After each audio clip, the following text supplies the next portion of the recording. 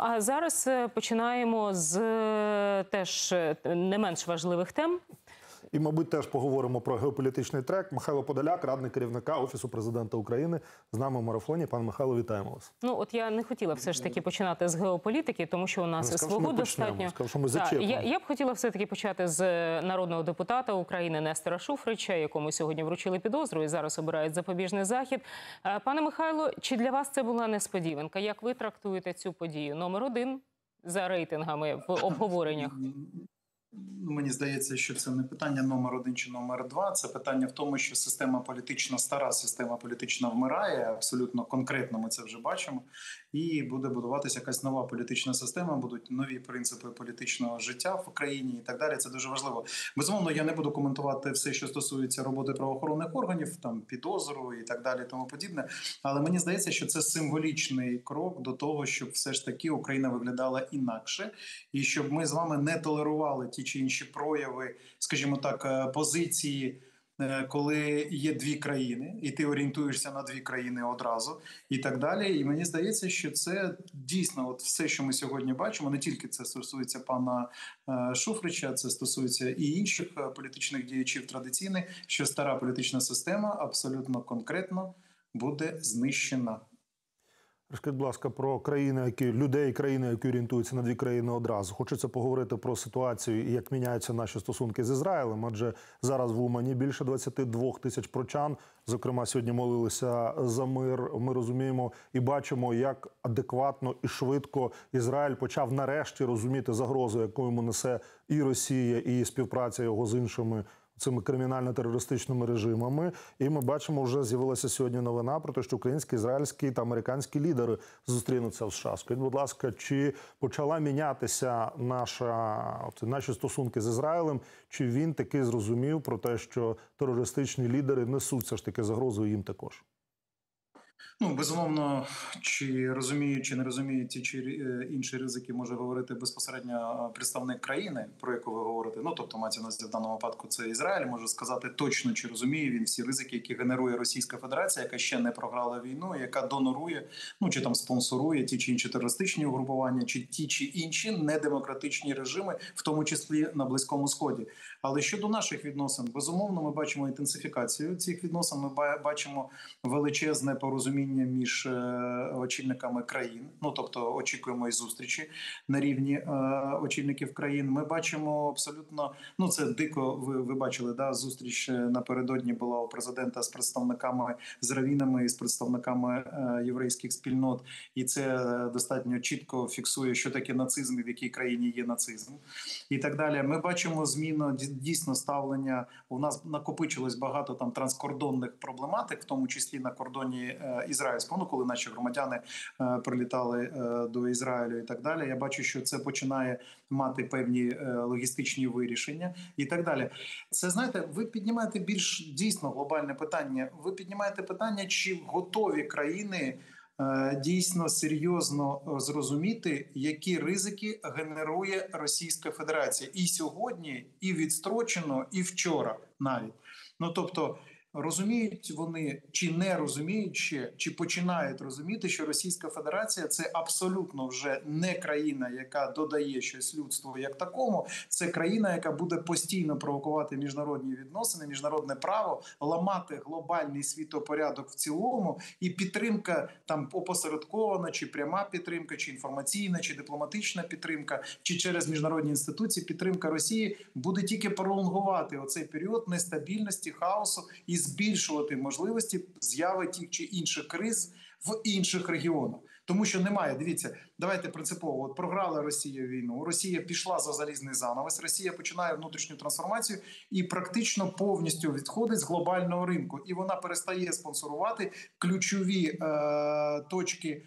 е, Там, скажімо, нестабільності в низці регіонів, в тому числі на близькому сході, чи це погано, чи це добре за цей час на цьому ж е, в цьому регіоні можна побудувати інші взаємини з е, країнами, які там один з одною сусіднічують. Можна побудувати інші системи безпекових відносин і так далі. Тому подібне. Мені здається, що сьогодні інвестувати в перемогу Україні це інвестувати в стабільність в своїх регіонах не більше, але й не менше. Це точно. Скажіть, будь ласка, продовжуючи цю тему, хочеться спитати про одну ще зустріч, за якою ми всі так уважно стежили. Приїжджав лідер КНДР. Недаремно вони зустрічалися, мабуть, на космодромі. Сам факт про це вже щось говорить. Чи очікувати нам неприємностей від Кореї? Чи очікувати, як ви думаєте, чи вдалося домовитися, чи вдалося Путіну випросити ці снаряди? Адже ми розуміємо, що їх одразу відчує наш фронт. Якщо між глобально на це глянути, чи можна розуміти про створення оцього блоку трьох країн Росія, Корея, Китай? Тому що з одного боку всі говорять, що так, ця історія вже починає складатися в такий агресивний блок, який може протистояти західному світу. З іншого боку, дипломати Китаю чому заявили, що ні, ми тільки з Кореєю ми розвиваємо свої стосунки, а Росія там хай собі в сторінці постоїть. Е, Ну, давайте спочнемо з е, Китайської Народної Республіки. Це набагато більше глобальний гравець, ніж Росія.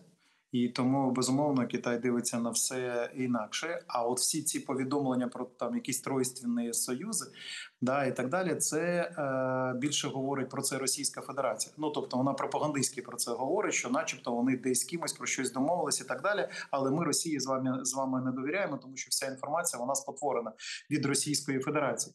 Це перша складова. Друга, що ми можемо очікувати від Північної Кореї? Ну ви ж розумієте, від такого типу країн можна очікувати тільки негатив, як такий. І Корея дійсно постачає там низку зброї для Російської Федерації. Пан Буданов про це вже е, повідомив. Що це вже відбувається там протягом півтора місяці. Це і снаряди 152-122, це і міни і міномети. Відповідно, це і реактивні снаряди до системи РСЗО ГРАД і так далі. Тому подібне. Чи буде це суттєво впливати на полі бою? Так воно впливає, тому що ресурсна обмеженість Росії була б більш чутлива, ну більш відчутна, якби не було там, наприклад, е, Ірану чи не було Північної Кореї. Ірану я маю на увазі з дронами чи Північної Кореї, але між тим це суттєво не допоможе Росії, яка в принципі йде поступово йде до свого фатального кінця. Щодо самої зустрічі, ну безумовно для Кім Чен Іна ця зустріч була важлива, тому що дивіться, він себе поводив як хазяїн, як ще один хазяїн, у якого той же Путін, якого ще вчора вважали великим глобальним гравцем. Ще раз підкреслюю, сьогодні Путін взагалі не є гравцем. Це людина, яка вже е, ну практично все програла, але на жаль, вона буде забирати ще велику ціну, поки світ до кінця не доведе цю війну і так далі. Але між тим він щось там випрошує у Кім Чен Іна. Кім Чен Ін буде це продавати як велике досягнення на внутрішньому ринку. На внутрішньому ринку, де немає ніякої конкуренції, немає ніякої інформації. Це буде виглядати достатньо помпезно. Крім того, Кім Чен Ін отримає додаткові продукти харчування, додаткові можливості ремонтні, додаткові можливості будівництва там дорог. Ну країна Північна Корея, вона ж відома тим, що дуже ефективно виглядає внутрішньо і так далі. Ну ми не будемо безумовно там втручатись, хай вони так собі далі виглядають. Але між тим, що е, е, отримає глобальні спільноти, мені здається, це більш важливо. Треба все ж таки перейти. От дивіться, Північна Корея вона була була під санкціями. Жодна країна під санкціями, які були е, затверджені в ООН. Це не просто там санкційні галузеві санкції, які там низка країн об'єдналися і прийняли як по відношенню до Росії, там до енергетичного комплексу Росії чи ще до якихось там е, галузей Російської Федерації. Тут було відповідно, що будь-яке військово-технічне співробітництво з е, Північною Кореєю буде мати наслідки. І от тепер ми хочемо побачити ці наслідки, тому що Росія відверто. Сьогодні відверто порушує ці санкції і відверто отримує військову допомогу від Кореї. Е, Мало того, що це країна-агресор, це вже юридичний нонсенс отримувати допомогу для агресії і так далі. Але на мій погляд, оцей е, оця зустріч Кім Чен Іна з Путіним надасть трошки жвавості переговорів між нашим е, президентом і очільниками інших держав щодо надання додаткових інструментів ведення війни, перш за все дальнобійних ракет. Пане Михайло, якщо ми вже в тому регіоні та географічно перебуваємо, то хочеться згадати ще одну зустріч. Вона відбулася між посланцем Папи Римського кардиналом Матео Зуппі з, е, з Ліхуеєм. Це китайський міністр закордонних справ. І отут дуже хочеться спитати. е, Мене зацікавила така фраза в заяві Ватикану про те, що на зустрічі, значить, італійський кардинал порушив питання продовольчої безпеки, експорту зерна з України. Е, Зустріч пройшла у відкритій і сердечній атмосфері. Пане Михайло, скажіть, будь ласка, щось у відкритій атмосфері відбувається між е, Ватиканом і, наприклад, е, керівництвом України? Ну, безумовно, сьогодні низка країн чи низка інституцій шукають ті чи інші рішення тому що е, рішення маю на увазі, які стосуються війни в Україні, тому що війна в Україні е, це ж не просто там територіальна невеличка війна і так далі. Вона накладає відбиток на багато інших глобальних процесів, в тому числі щодо безпеки як такої. І безумовно, Ватикан ініціює ті чи інші своє бачення, ініціює ті чи інші переговорні процеси, і це непогано. До речі, непогано щодо України. Україна завжди дотримується правила, в тому числі прямого спілкування, в тому числі з Ватиканом, щоб пояснити на яких принципах ця війна ведеться Росією. Це перше, це головне, щоб е, будь-які країни чи будь-які представники інших там організацій, міжнародних, в тому числі я зараз не про Ватикан, а в цілому про, е, наприклад, ООН, щоб вони розуміли, чому з Росією просто так от сказати можна нам політично про щось говорити неможливо, тому що тип війни, яку веде Росія, відповідний. Треба, щоб інші країни, які безпосередньо е, не приймають участь зрозуміло у війні, щоб вони розуміли природу війни. Це перше, друга складова щодо позиції України. Дуже важливо, щоб всі поступово зрозуміли логіку формули миру як такої. Чому можна дійсно дійти до миру тільки через цю формулу, через відповідно вивід російських військ. Це як Базова умова, третя складова безумовно потрібні комунікації, в тому числі з представниками Ватикану в Україні, щоб пояснити, чому недоговороспроможним є саме Путін, а не там Україна чи ще хтось і так далі, і тому подібне. Ну і четверте, безумовно пояснити, що посередницькі функції можливі в будь-якому випадку, але виключно коли буде е, підтримана концепція, що війна має закінчитись справедливо. Що таке справедливо? Це не означатиме, що війна може закінчитись як це було в 2014 році, території в обмін, чи як це було там в Грузії, території в обмін на мир, тому що території в обмін на мир це тільки перехід до іншого етапу експансії. Як такої, оце все безумовно потрібно пояснювати всім країнам. Безумовно, про потрібно проводити ті чи інші зустрічі. Це дуже важливо. Ви вже кілька разів згадували Організацію Об'єднаних Націй і почали вже, мабуть, відповідати на це питання, але тим не менше, Генасамблея ООН чого очікуємо, які задачі мінімум максимум собі ставимо, враховуючи, скажімо так, ну не про українську позицію цієї організації, про те, що важко пояснити, що перетворилася організація з назвою Радбез. А, а, Дивіться, дуже важливо мати майданчик. Це ж Генеральна асамблея, будуть зібрані всі країни в тому числі ті країни, які дотримуються там нейтрального статусу, чи відповідно менше уваги звертають на війну, тому що в них є свої проблематики. Вони знаходяться в інших регіонах.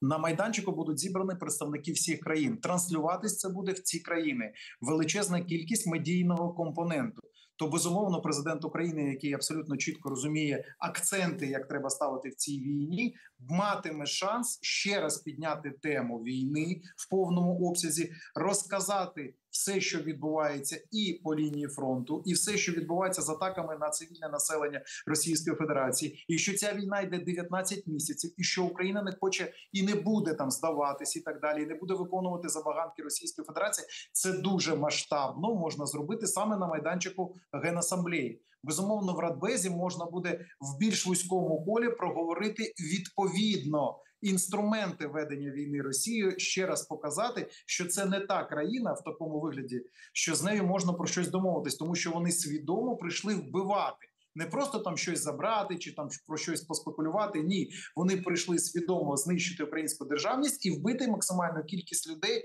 для того, щоб налякати нас з вами, щоб ми дійсно стали навколочки на коліна встали перед Російською Федерацією. Це два потужних майданчика саме для промоції української позиції. Використовувати це абсолютно потрібно і так далі. Щодо юридичних складових, як там себе поводить он, подивимось на резолюції, на голосування і так далі, тому що ну мені здається, що після 19 місяців війни акценти вже точно можна розставити. Я розумію, що там на початку війни я розумію до війни, до повномасштабного вторгнення Російської Федерації. Чому я розумію це? Тому що Росія була дійсно потужним політичним гравцем. Підкреслюю, так це було штучно створено з 2007-2008 року. Росія багато інвестувала в міжнародні інституції, багато інвестувала в пропаганду, в дипломатичні мережі, в грантовські програми для підтримки там тих чи інших спільнот в інших країнах і так далі. Сьогодні це все руйнується. На жаль, мені б хотілося, на жаль, я кажу, що повільно руйнується, в тому числі повільно руйнується оце лобі проросійське в низці міжнародних інституцій. Було б бажано, щоб це робилось швидше, набагато швидше. Але подивимось, мені здається, що використовувати майданчик для промоції української позиції, де будуть зібрані ще раз підкреслюю, всі там більше ніж 190 країн. Ну це супер. Ну і ми очікуємо, що президент повернеться з атакамсами. Правильно? Це більш складне е, завдання. Так, ну одночасно це двосторонні переговори, а з іншого боку, більш складне, тому що все ще консервативне мислення певне заважає нашим партнерам усвідомити, що немає тут ніяких інших варіантів, окрім передачі Україні дальнобійної ракети. Чому тому, що це вирівняє паритетно вирівняє наші е, з Росією спроможності. Дивіться, Росія використовує дальнобійну ракету, крилату, балістичну, е, надзвукову використовує щоночі, практично правильно. Ну тобто вона атакує всю територію України. Нам, хоча б мати велику кількість е, дальнобійної ракети для того, щоб знищити окупаційні спроможності. Ну мається на увазі складську інфраструктуру, транспортну інфраструктуру, резерви, які вона підсовує через е, той же півострів Крим. Для цього потрібні ракети відповідні. Будемо про це говорити. Я думаю, що. Маємо надію, що все ж таки рішення відповідні будуть прийняті, тому що логіка війни не дає жодного варіанту не прийняти рішення і по Атакамсу, і по Таурусу, і по авіаційному компоненту. Ви ж бачите, все приймається. Тому що а чому приймаються відповідні рішення? Тому що, по-перше, Росія себе так поводить максимально брутально, да показує, що вона не договороспроможна, ще раз підкреслюю. А з іншого боку, наші наступальні е, операції вигля... виглядають дуже і дуже ефективно.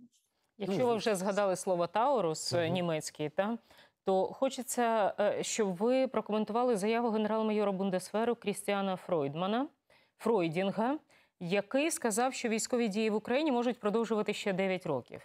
І тут е, цю заяву е, можна трактувати, як трактують її аналітики, які говорять, що треба сказати, що ми готові воювати вдовгу, та ну і це збиває там моральний стан противника, та і противник починає. Це інформаційна війна. Але нашим людям бажано пояснити, е, що стоїть за такими заявами, і бажано, щоб це зробили саме ви. От про 9 років і про довготривалу війну. Хоча треба нагадати нашим глядачам, що президент говорить про те, що війна затягується, і е, про це говорять все частіше і частіше, і абсолютно відверто. Давайте коротка відповідь і е, більш розлога. Коротка дуже проста.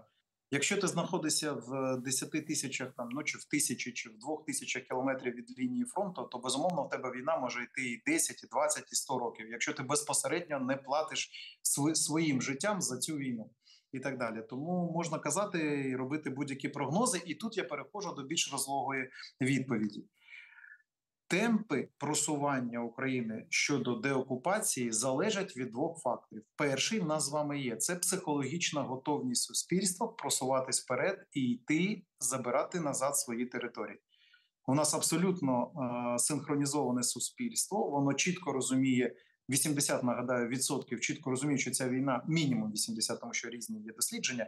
Мінімум 80 відсотків чітко розуміють, що війна може закінчитись виключно при тотальній деокупації всієї території України. Тобто, перша ключова складова готовність країни йти і відвоювати свою територію є між іншим такої готовності, якщо б ми побачили в інших країнах. Ну, маю на увазі дослідження в інших країнах. Ну треба було подивитись, чи хтось ще був би на такому рівні, як Україна, щодо захисту своєї території, повернення своєї території. Але є друга складова, дуже важлива. І замість того, щоб говорити про 9 років, треба було б говорити про суттєве збільшення обсягів відповідних інструментів. І е, суттєве пришвидшення постачання. Тобто, якщо ми договорились про щось, наприклад, е, в восени 2022 року, то отримати це, наприклад, весною 2023 року, це означатиме, що Росія за цей час буде інвестувати багато грошей в інженерні конструкції. Якщо сьогодні ми будемо отримувати зброю такими ж темпами, як отримаємо, то безумовно вона може йти рік, два, тому що і тут я переходжу до Російської Федерації. Вона в цей час працює з Північною Кореєю, з Іраном, будує в Алабузі е, в Татарстані е, новий там дроновий завод. Вона інвестує гроші в міни. Вона шукає гастарбайтерів, які будуть там третій ешелон заливати бетоном і так далі. Тому Росія хоче, до речі, періодично отримувати зниження інтенсивності бойових дій, е, отримувати оперативно-тактичні паузи для того, щоб інвестувати в лінії оборони, тому що ця територія. Росії не потрібна для розвитку. Ми ж з вами розуміємо. Вона і Крим то не розвивала. Вона в Криму робила військову велику військову е, там масштабну базу і так далі. Тому Росія буде в це все інвестувати. І безумовно, якщо ми не будемо отримувати виключно в рамках домовленостей там дуже суворо день в день отримувати в необхідній підкреслюю кількості, в тому числі дальнобійну ракету, то безумовно можна прогнозувати будь-який термін е, війни. І крім того, друга складова, яку треба, щоб розуміли наші партнери, третя верніше, дуже важлива. Якщо Росія не буде мати декілька тактичних поразок і не буде втікати з території України, то в Росії не буде ніякої політичної трансформації. Режим Путіна буде законсервовано. Вони будуть практично повністю інвестувати мілітарні програми. Вони будуть накопичувати реваншистські настрої. Вони будуть накопичувати е, емоції ненависті до нас. І вони будуть збільшувати тиск там терористичними чи політичними чи інформаційними чинниками на Україну і не тільки на Україну. І безумовно це буде довга війна. Про що говорить і президент України? Він чітко фіксує: надайте стільки зброї, скільки нам потрібно для того, щоб пришвидшити наступ. Що для цього потрібно? Три елементи на сьогоднішній день ключові. Перше це системи протиракетної оборони для того, щоб дозакрити небо і позбавити Росію єдиного практичного ресурсу впливу на ситуацію. Це е, атаку ракетами цивільного населення. Друга складова це авіаційний компонент, щоб позбавити Росію єдиної переваги на лінії фронту. Це тактична авіація, яка висить над нашими хлопцями, які йдуть вперед.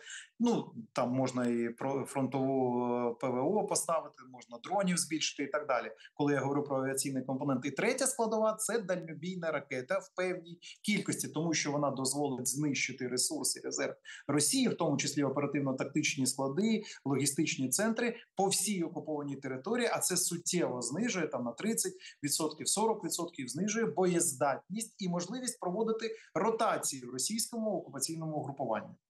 Пане Михайло, хочеться спитати, поки є час, ще одна така тема, не досить приємна. Я її назвав би зерно розбрату. Те, що у нас починається з Польщею. Ми бачимо, що прем'єр-міністр Польщі Моровецький заявив, що Польща не відмовиться від ембарго на імпорт українського зерна, навіть якщо його скасує Євросоюз. Натомість, уже наш прем'єр-міністр заявив, що Україна позиватиметься проти Польщі в арбітраж світової організації торгівлі. Розуміємо, що тема надзвичайно чутлива для обох країн. Оцей перехід в юридичну площину, що говорить про те, що домовитися не вдається. Мені здається, що треба про це публічно не говорити, а домовлятись, тому що і тут дуже важливо зрозуміти перший пункт номер один: Польща є найближчим сьогодні партнером і союзником України. Польща це наші, скажімо так, можливості.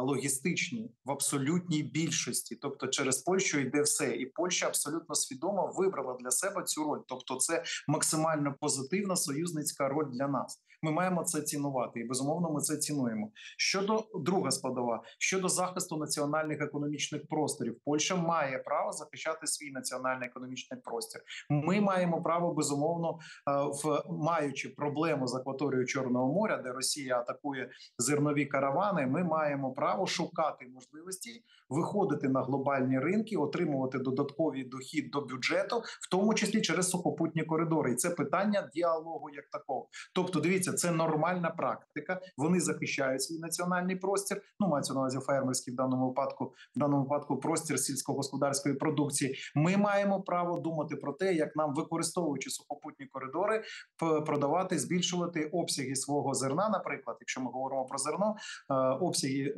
продаваємого зерна на зовнішніх ринках. Тому це питання діалогових форматів.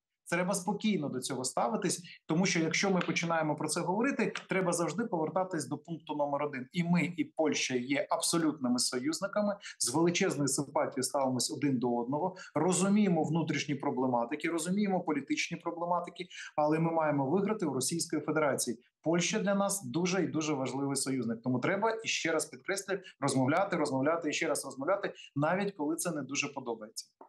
Не будемо заважати в цьому питанні дипломатам. Тоді хочеться спитати про іншого наша і союзника, і сусіда Туреччина, яка активізувалася і в не зовсім приємний для нас спосіб. Ми на G20 говорили про те, що санкції проти Росії вже час знімати. І зараз критикують наміру Євросоюзу запровадити нові санкції. Що сталося в Анкарі? Що вони так почали грати в одні ворота? Принаймні, це так виглядає зараз.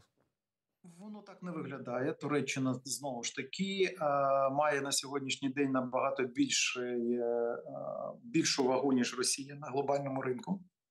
Але Туреччина має певні економічні проблеми, хоче вирішити ці проблеми, тому вона веде безумовно розмову про те, щоб збільшити обсяг е, товарообігу між Росією і Туреччиною, тобто там і газовий хаб, і зняти певні е, обмеження для тої чи іншої продукції, і так далі. Е, Туреччина виходить виключно з, зі своїх позицій, і це нормально. Знову ж таки, нормальна практика, і користуючись знову ж таки набагато більшою суб'єктністю ніж має сьогодні Російська Федерація. Це ще раз дивіться, це нормальна практика поведінка. Це не означає, що Туреччина підтримує Росію. Це точно не означає. Це не означає, що Туреччина навпаки. Туреччина постійно заявляє, що вона не визнає е, захоплення Криму. Ще з 14 року про це говорить. Вона не визнає право Росії атакувати Україну. Вона визнає територіальну цілісність і суверенітет України. Вона наполягає, щоб е, е, Росія повернула. Територіальну цілісність і суверенітет України і так далі, і тому подібне. Туреччина багато допомагає Україні з точки зору логістики. Ви ж бачите, вона була гарантом в зерновому коридорі. 18 мільйонів тонн зерна вивезли. Туреччина допомагає в інших галузях. Не буду казати про них. Ну це вже там до міністерства оборони більше і так далі. і Тому подібне. Але Туреччина ще раз підкреслю, дивіться, е, світ, на жаль, ну для нас з вами, на жаль, не є україноцентричним.